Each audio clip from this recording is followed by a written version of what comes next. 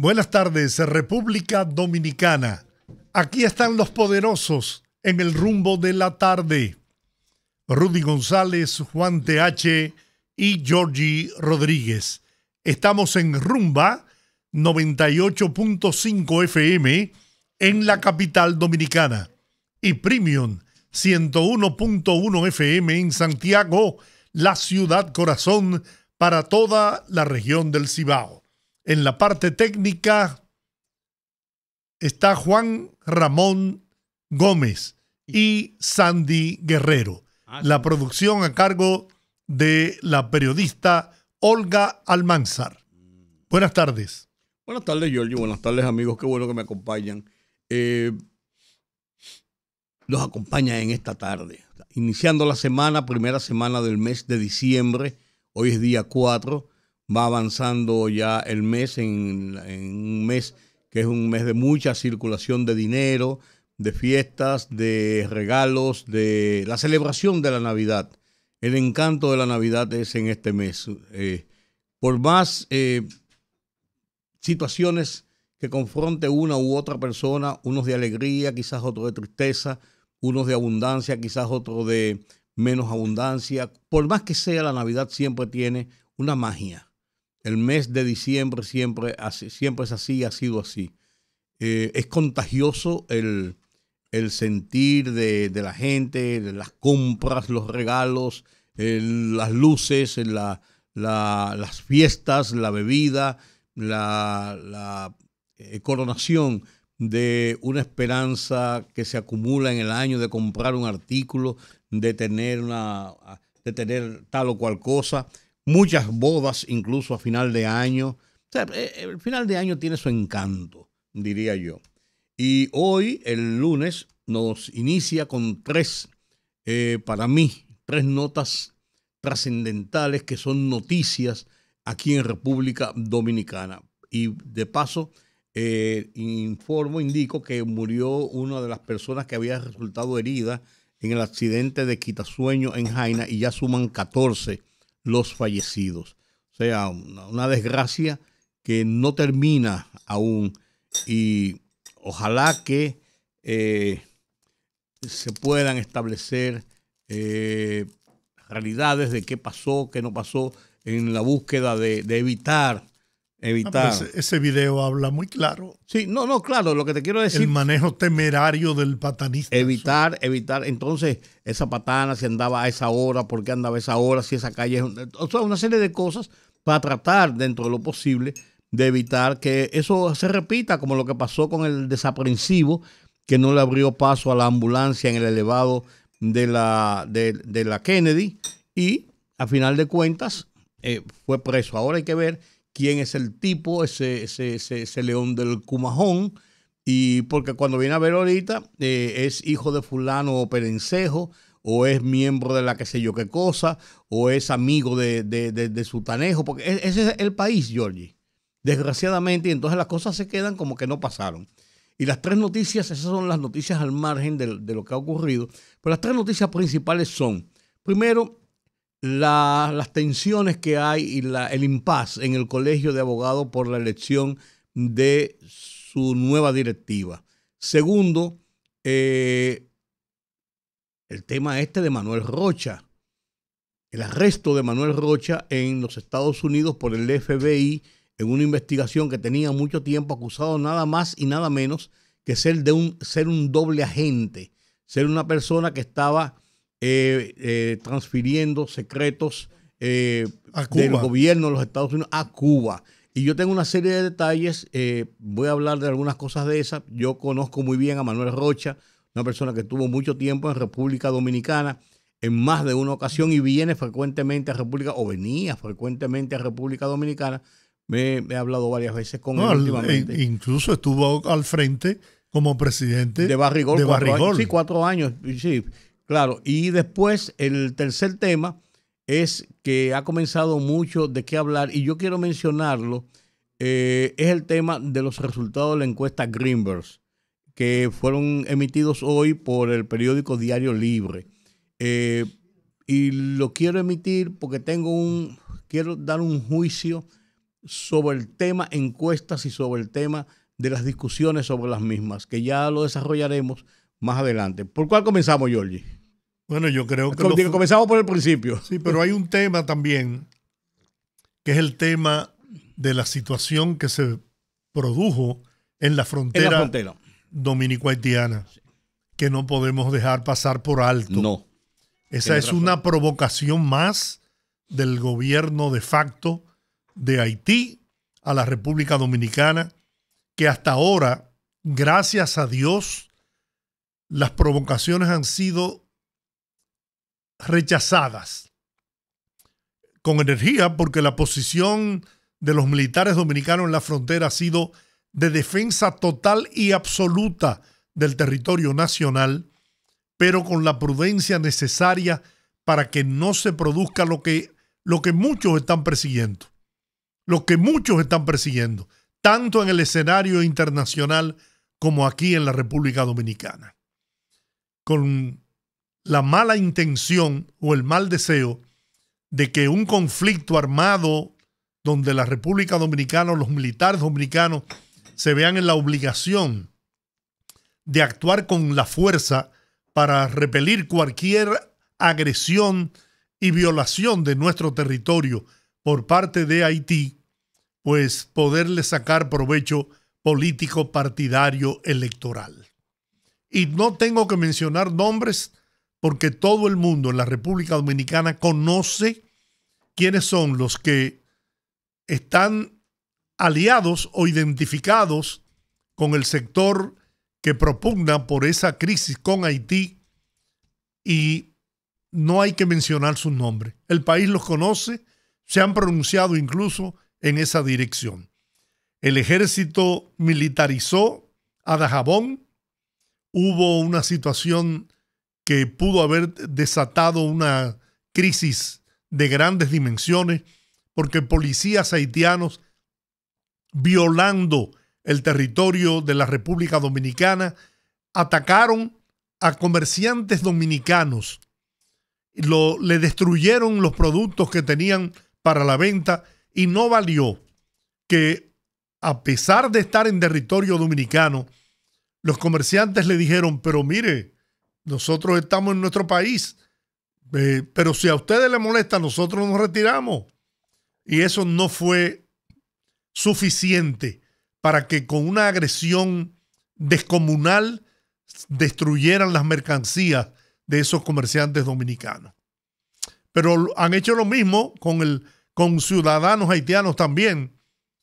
Entonces, si lo que quieren provocar es muertes, que sepan que la posición de la República Dominicana y de nuestras Fuerzas Armadas, que están listas y preparadas para cualquier agresión, la respuesta no se dará a esperar. Que no crean que porque esto pueda ser utilizado políticamente, el país va a soportar todas esas agresiones y provocaciones. Se equivocaron. Se equivocaron porque este pueblo está claro muy claro de cuál debe ser la actuación de nuestras Fuerzas Armadas en la frontera para garantizar la soberanía nacional. Pues ese es, ese es el tema. Ese es el tema. Mira, yo eh, en lo que hacemos algunos, algunos contactos, podríamos ir adelantando algunos de los temas. Eh, por ejemplo, en el caso de, de Manuel Rocha. Manuel Rocha es un hombre del establishment de los Estados Unidos un hombre... Fue embajador aquí. De las, no, aquí en varios sitios, de, las escenas de poder en los Estados Unidos. Manuel Rocha llegó a República Dominicana durante el gobierno de Robert Anderson, que era el embajador en 1983, 83 por ahí. Él tenía una muy buena relación con Robert Pastorino, que era una persona que había estado en República Dominicana previamente. Y eh, Anderson eh, él fue el segundo de Anderson en la Embajada de los Estados Unidos cuando vino al país. Era agregado político en ese momento. Y como agregado político, era, se, tiene estipulado, se tiene estimado, se da como un viso de seguridad y eso nunca se ha informado oficialmente. El agregado político de la Embajada de los Estados Unidos es la persona que representa la Agencia Central de Inteligencia, la CIA, en la sede diplomática de los países, principalmente los países latinoamericanos. El que ostenta el cargo de agregado político, generalmente es el jefe de la estación de la CIA, que está en cada una de las embajadas que tiene por todo el mundo los Estados Unidos, así como tiene una delegación de la DEA en los países donde hay temas con el tráfico de narcóticos, como el caso de República Dominicana, como tiene una persona que es el, que establece los vínculos con el FBI y los organismos de, investigación del país.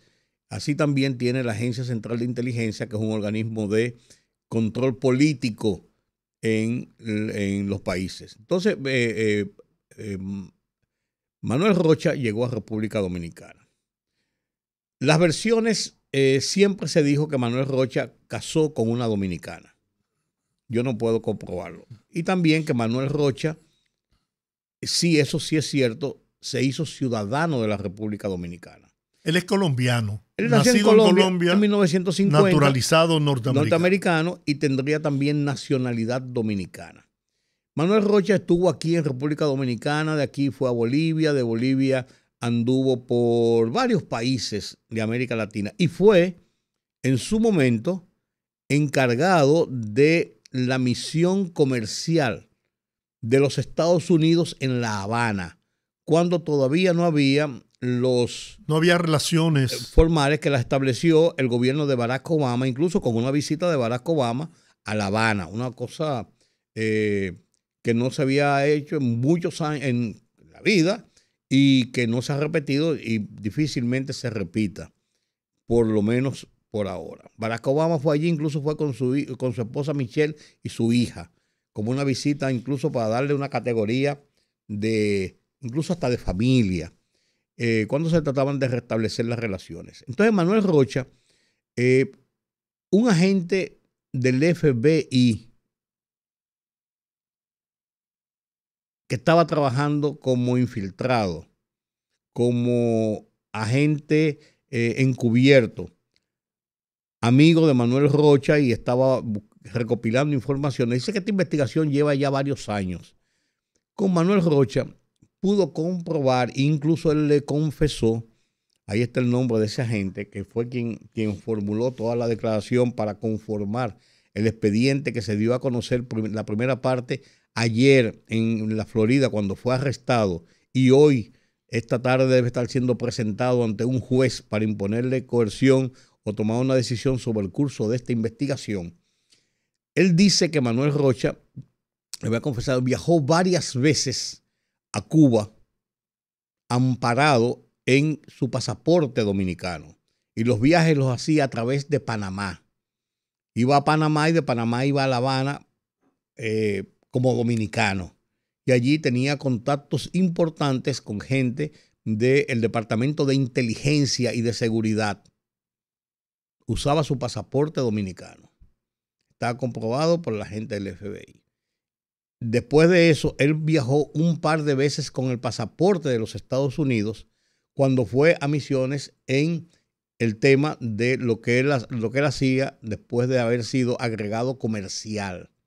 Entonces, este informe del FBI es lo que sustenta todo lo que tiene que ver con Manuel Rocha. Manuel Rocha, después de haber salido del cuerpo diplomático, Después de haber trabajado, estuvo en Argentina, en México, en Bolivia, en varios sitios. Él viene mucho a República Dominicana.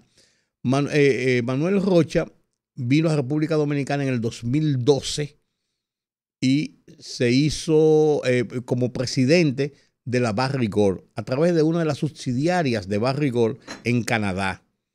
Vino con ese cargo, sustituyó a este señor Bonilla, ingeniero Bonilla, que era el el presidente de Barrigol y a él lo, sustituyó México Ángeles eh, en el 2017. Tuvo cuatro años como, eh, como presidente de, de la Barrigol. Aquí en República Dominicana, como embajador, que incluso ostentó la posición de jefe de la misión cuando Anderson hubo de salir de República Dominicana hasta que nombraron un sustituto. Él estuvo como jefe de misión aquí hizo muy buenas relaciones en República Dominicana, un hombre latino, hablaba buen español, es un hombre educado, un hombre cortés, un hombre muy bien preparado, muy bien formado en varias universidades norteamericanas, entre ellas en, en, Harvard y en Georgetown, y eh, era un hombre agradable, un gentleman. Hizo muy buenas relaciones desde el mundo diplomático. Cuando vino ya como jefe de la Barrigor, estrechó sus relaciones en el mundo de eh, empresarial en República Dominicana. Tiene muy buenos amigos de diferentes índoles en República Dominicana. Em, además, él tenía muy, muy buenas conexiones con el aparato militar de los Estados Unidos. Incluso sirvió en una de las ocasiones en que estuvo en Estados Unidos dentro de, la, las agencias de seguridad de los Estados Unidos y enlace con eh, estamentos de las Fuerzas Armadas norteamericanas. O sea, el tipo tiene un buen background. Ahora, esa acusación que se le hace a Manuel Rocha en este momento es una acusación muy dura y muy fuerte, una acusación de espionaje. No es de evasión de impuestos, no es de violación por qué sé yo qué cosa, es espionaje. Y eso en los Estados Unidos está tipificado como una de las penas, de, de las acusaciones, de las penas más graves que tiene la justicia de los Estados Unidos. Sí, porque traición a la, traición a la patria. A la patria. Traición a la patria. Entonces, él está enfrentando eso. Hay que ver cuál va a ser su. La señora Wicott, que es su, su, su esposa, se dice que es dominicana, pero yo no, no, no, no, no puedo comprobarlo. Hay una familia Wicott aquí muy conocida en República Dominicana. Se dice que él casó con ella aquí cuando estuvo en República Dominicana. No sé si en la primera o la segunda ocasión oficialmente como funcionario, primero de la embajada y después de la Barrigor, pero eh, eso, eso se, indica. Y además de eso, lo de la ciudadanía dominicana, yo no puedo decirlo, porque no tengo el documento, pero lo del pasaporte dominicano sí, porque las autoridades del FBI mostraron el pasaporte con el que él estaba, estaba viajando y con el que había entrado varias veces a Cuba, entre otros lugares. Yo no sé, pero a mí me resulta difícil entender que un hombre de las capacidades de Manuel Rocha. Republicano. De la gente de, de, Ronald Reagan. Un hombre de esas capacidades de esa inteligencia, de esa preparación, cometa el error infantil de viajar a Cuba desde Panamá con pasaporte dominicano.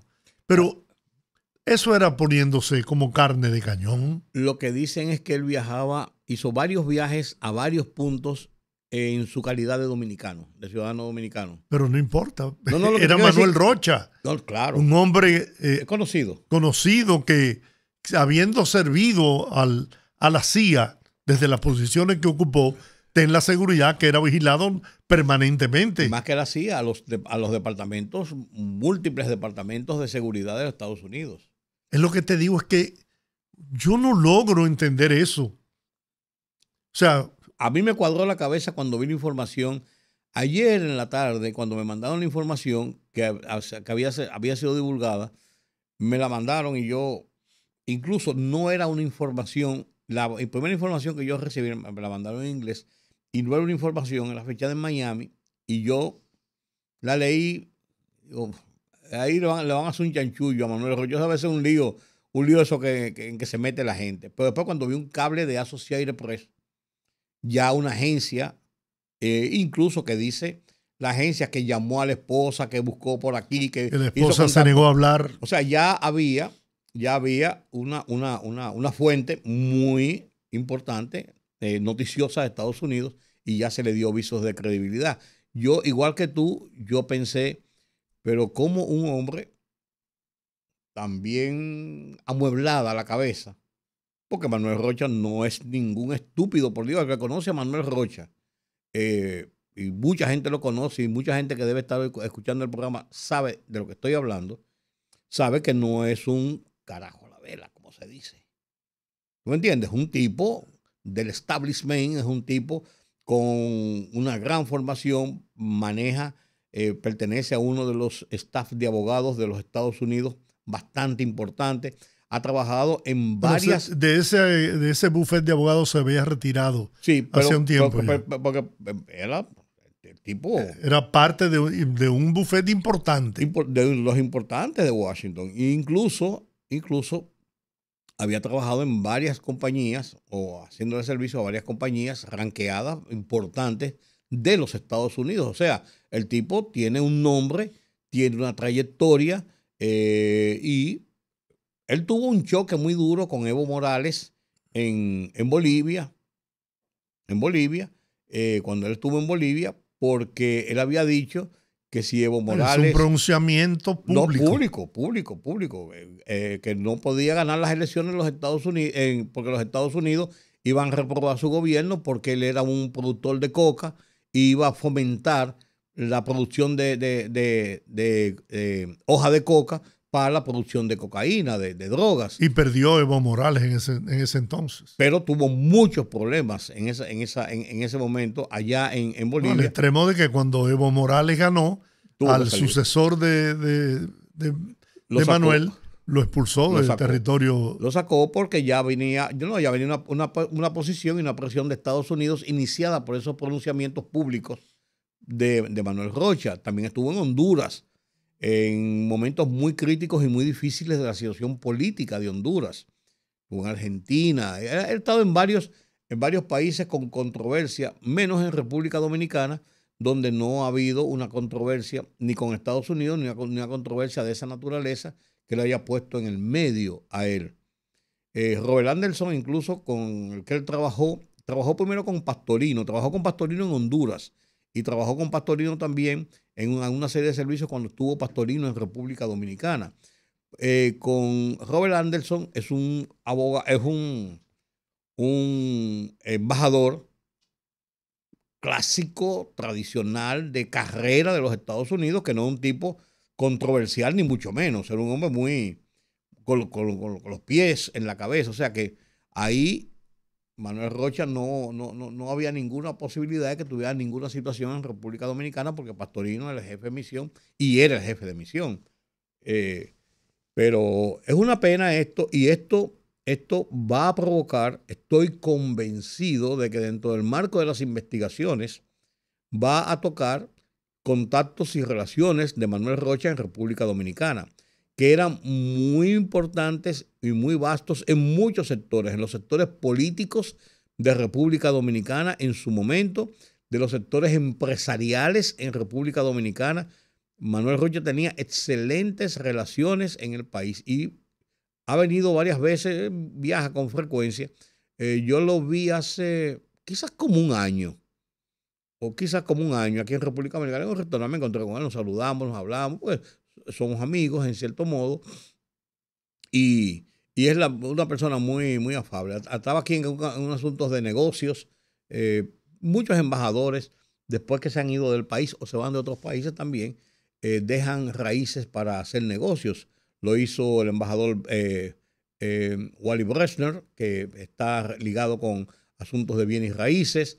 Lo hizo el, embajador Hans Ter, que es consultor, es consultor de varias eh, empresas. Lo hizo en su ocasión Robert Horwitz, que después se casó en República Dominicana con una hija de Carlos Piantini y tuvo después algunos problemas que fue investigado y hasta fue acusado de una serie de operaciones ilegales en los Estados Unidos. Eh, venía frecuentemente, bueno, estaba aquí, venía mucho a República Dominicana y así por el estilo. Eso es, eso es como común que vengan y dejen raíces para seguir. Porque establece relaciones al más alto nivel. Claro, claro, claro. Y son personas bien preparadas que tienen contactos a su vez en Estados Unidos y pueden, y pueden servir de consultores, de asesores y de una serie y lobistas para, para, algunos negocios. Bueno, las investigaciones podrán eh, tocar a personalidades en la República Dominicana, pero, pero en ese caso yo no creo que tenga una, relación, pero, porque no es una situación de de corrupción, de narcotráfico, de evasión. No, además que eso, de algunas cosas. De ser cierto, eso se maneja con la más estricta secreto y confidencialidad. Pero yo digo, yo digo, no creo que ninguna, que no hablo de que vaya a tener ningún problema, pero es posible que algunas personas sepan Ah, establecer sean- los marcos sí. de relación por para, para establecer, porque en esto, Pero al esto, extremo, esos aparatos de seguridad, perdón, Georgie, arman un muñeco, ¿eh? sí, claro, arman pero, un muñeco bien armado. ¿eh? pero al extremo de que, vuelvo y repito, de ser cierto, y lo están investigando desde hace años, sí, dice que hace varios años que cómo estaba- llegó a ser presidente de Barrigol. bueno, en Barrigol fue en el 12, hace ya 11 años. 11 años. Sí, y dice que hace varios años, puede ser que haya 5 o 6 años, yo no sé, no sé. Pero, porque no dice, dice que, comenzaron a tener sospechas de- de él desde hace unos 10 años cuando estuvo, tuvo unas relaciones muy estrechas cuando estuvo relacionado con la Oficina de Intereses de los Estados Unidos en Cuba. Y en una de las reuniones de que se habla, dice que él viajó a Cuba, una de las reuniones específicas que habla la investigación, a reunirse con el segundo del Departamento de Inteligencia a una reunión de asuntos de inteligencia y de seguridad de Cuba. O sea que no fue que fue de turista y, y que tomándose un trago en el, en el Floridita, se juntó con, con Giorgio Rodríguez y he hablado. No, no, no. ¿Y por, Fue qué a tú, ¿Y eso. por qué tú me mencionas a mí? Bueno, pues Rudy González. no me metas en ese lío. No te, dije, no te pongas así tampoco. Pero eh, eh, es, es una situación enojosa. Para los- en los Estados Unidos, ese cargo, esos cargos y esas investigaciones son enojosos. No, no, eso tiene sanciones ejemplares. Sí, sí, y no, y drásticas, drásticas, Sí. muy duras, muy duras. Y además, es una, bueno, un hombre de 73 años ya, él nació en 1950 en Colombia, una persona ya de, de bastante edad. Eh, si es encontrado culpable, pasará los últimos años, pasaría los últimos años de su vida en prisión en los Estados Unidos. Bueno, vamos a la pausa. Al regreso vamos a hablar con Eddie Olivares sobre el tema de la crisis que hay planteada en torno al proceso electoral en el Colegio de Abogados de la República Dominicana.